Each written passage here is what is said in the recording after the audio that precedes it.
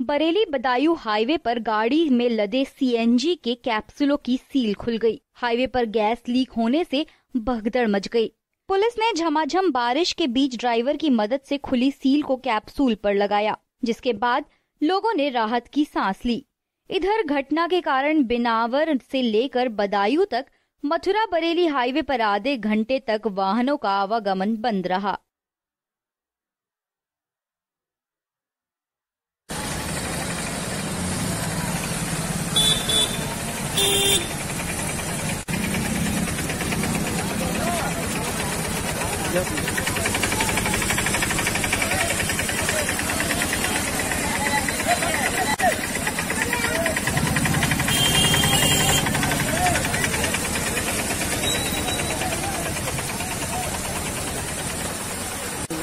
तो हाथ में करेगी ऐसे पहुँच गए